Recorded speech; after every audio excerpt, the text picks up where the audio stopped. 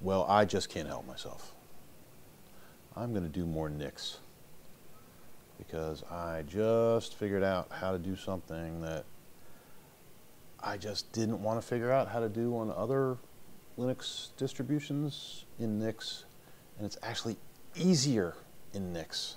Well, at least at least it it uh, made sense to me in Nix uh, the way this works. But um, for the longest time, I I mentioned in the in a previous video that this this ThinkPad has a NVIDIA Optimus graphics setup, which means it has both an Intel G GPU, which is you know part of the part of the chip die, the CPU die, and then it also has a discrete CPU, Intel, and it's not like you just you say Intel only or NVIDIA only.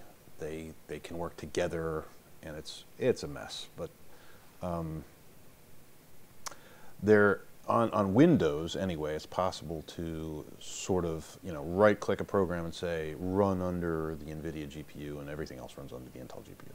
You know, um, that never I never really felt like I I didn't want to think about that under Linux because there were all kinds of ways to do it. There's a thing called Bumblebee, and the kind of Optimus thing you had was important, and uh, and I just decided, okay, well, for my desktop, it doesn't really matter anyway. Um, it's not actually a desktop; it's a laptop, but it's another machine I have. It's a it's a ThinkPad P52, and it has um, Optimus graphics, but I just run that in in discrete mode because uh, basically just it just powers an external display that I have, and um, uh, it doesn't really matter how much energy it uses because it's plugged into the wall, and I'm sure you know some tree hugger will kill me for that, but yeah, it doesn't matter how much. And um, but uh, for this one, this ThinkPad P51, I don't use this connected to any external monitor. I use this um, around the apartment, and if I happen to go anywhere, which is vanishingly infrequently these days. uh, I'll take it, you know, and use it on battery power or whatever. And one thing, it was bugging me that I couldn't get the Olive video editor to work under Intel mode, or at least under offload mode, which implies using the Intel GPU. It's very complicated. But anyway, I couldn't get Olive video editor to work. And what would happen is um, I would I would do this Olive editor and you know it's it's now this is being rendered using the using the um, using the uh, Intel GPU and usually when you drag this down here uh, use footage parameters you know a timeline comes up comes up down here. And it, and it, and it just doesn't work when when it's when it's under uh, when it's in offload mode. It just it just doesn't work. So I had to switch it in order to edit videos on here. I'd have to go into the um, I'd have to go into the to the config file and I would have to uh, sync I'd have to change it from offload enable equal true to sync enable equal true reboot whatever in order to use a video editor. It was just pain so I decided okay well I know it's possible to, to do this. I know you can do it on on Windows. So I'll try to figure it out. So I did, and um, the the uh, let's see here. Um, I search for NVIDIA. Uh, let's see, NVIDIA Nix OS. Yeah.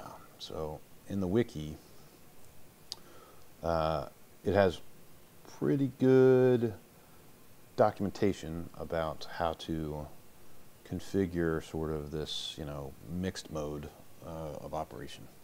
And one thing that is unfortunate for the P51 uh, is that it is a, I think it is a seventh gen machine. Is it a seventh gen machine? Uh, 7th gen Intel CPU. let's see, is it? Yes, it's a seventh gen Intel CPU, and because of this, uh, the the uh, Optimus mode where it powers down the NVIDIA GPU if it's not in use doesn't do quite as good of a job as it it should. Uh, on eighth and and subsequent generations of CPUs, it works fine. So, what I tried first uh, in in this was I tried to install this thing called Bumblebee, um, and it was simple. You just type hardware Bumblebee enable equal true. I figured Bob's my uncle, uh, and I would reboot and it would work, and then I would run my my video editor with Primus Run Olive Editor, something like that.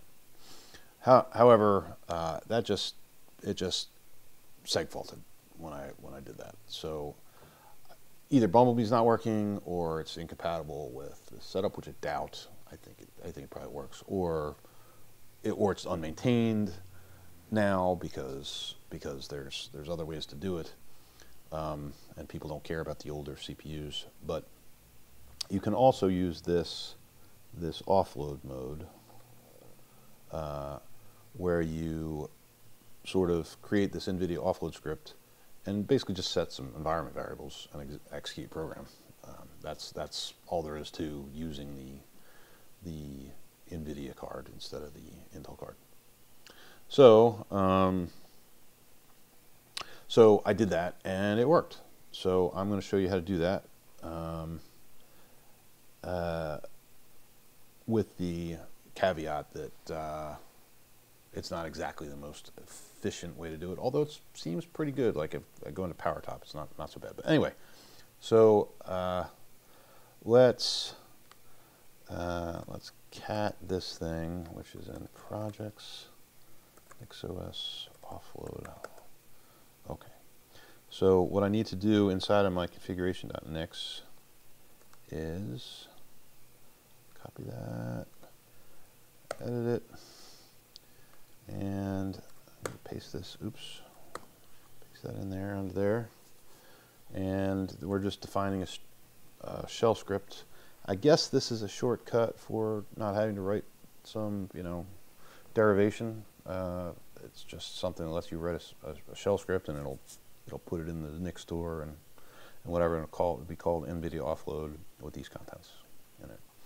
And then uh, you have to add that to your system packages like that.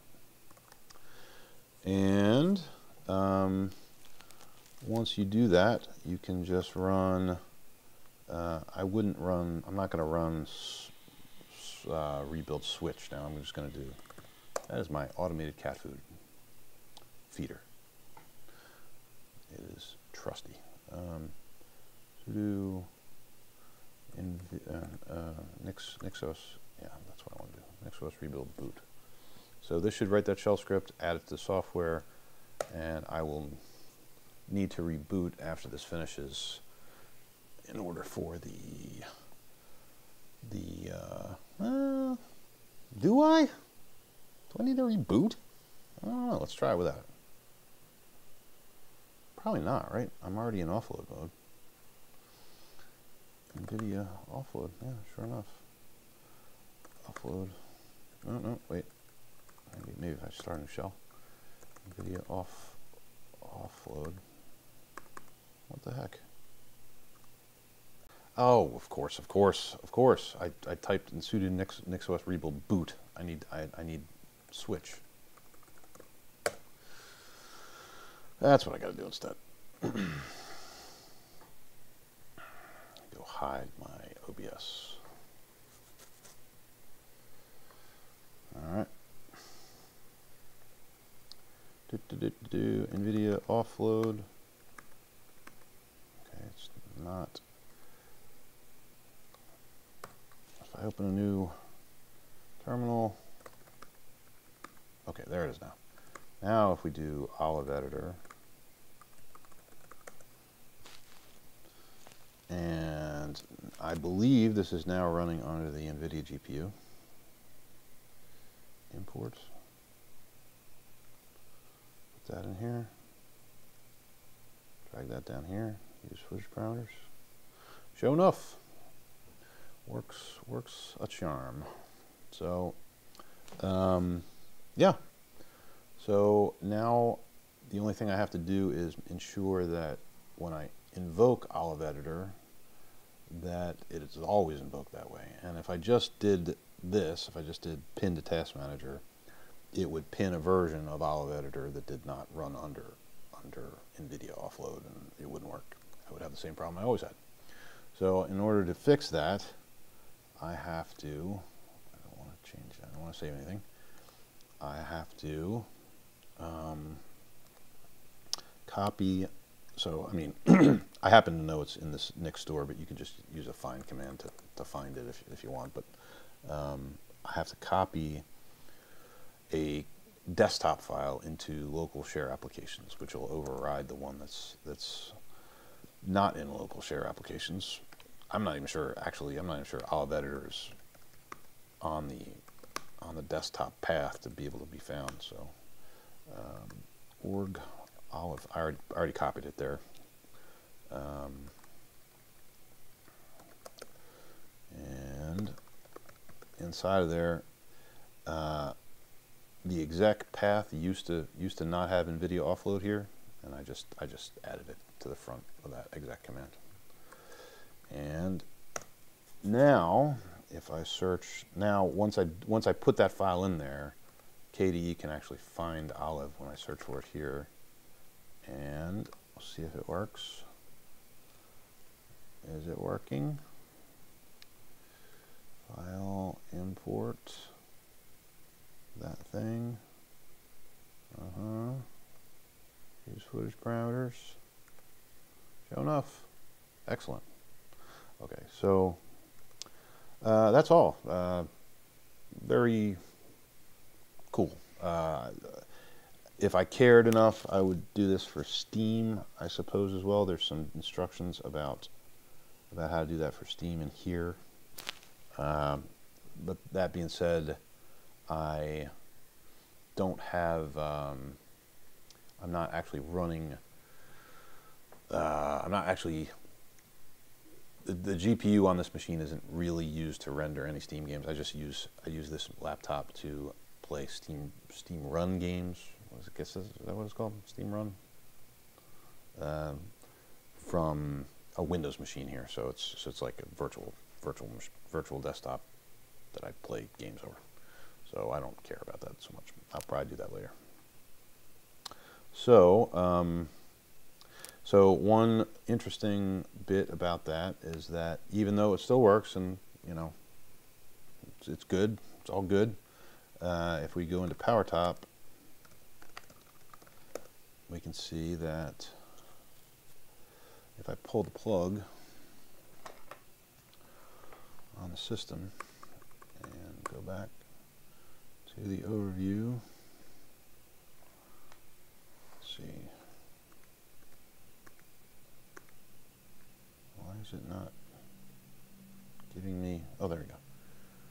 Oh, that's quite a few, that's quite a, quite a few watts more than I thought it would.